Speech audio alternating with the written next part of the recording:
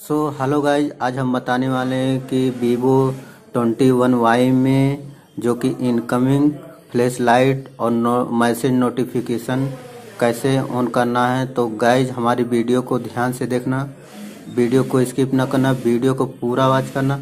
तो गाइज़ अगर हमारे चैनल पे आप नए हैं तो प्लीज़ सब्सक्राइब करें और बेल आइकन घंटी को ज़रूर दबाएँ। तो गाइज़ चलते हैं वीडियो को शुरू करते हैं। तो गाइज़ हमारे यहाँ मोबाइल में आपको सेटिंग दिख रहा होगा। आपको यहाँ पर सेटिंग पे क्लिक कर लेना है। क्लिक करने के बाद आपको यहाँ पर नीचे आ जाना है, जहाँ पर लिखा हुआ है स्कोट कट एस एसेसबिटली तो गाइज़ वीडियो को पूरा ध्यान से देखना।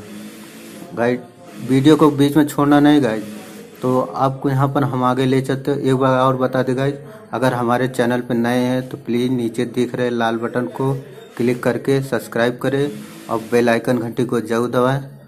तो गाइज़ आपको यहाँ पर शॉर्ट स्कर्ट एंड स्टिच बिटली दिख रहा होगा। इस पर आपको क्लिक कर लेना है।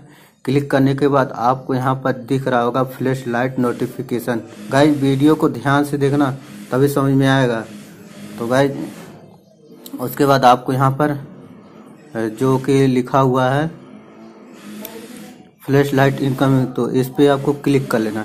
क्लिक करने के बाद आपको यहाँ पर इनकमिंग कॉल जो है फ्लैश लाइट है, इसको ओपन कर लेना। ओपन करने के बाद आपका जो इनकमिंग कॉल है फ्लैश लाइट जब कॉल आएगा आपका तो फ्लैश लाइट जलेगी।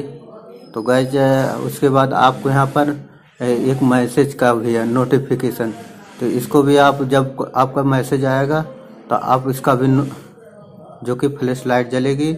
उसके बाद आप इसको रिमाइंडर भी ओपन कर सकते हैं। तो गैज अगर हमारी वीडियो पसंद आए तो लाइक, कमेंट ज़रूर करना और हमारी वीडियो पूरा देखने के लिए तहे दिल से धन्यवाद। Okay bye bye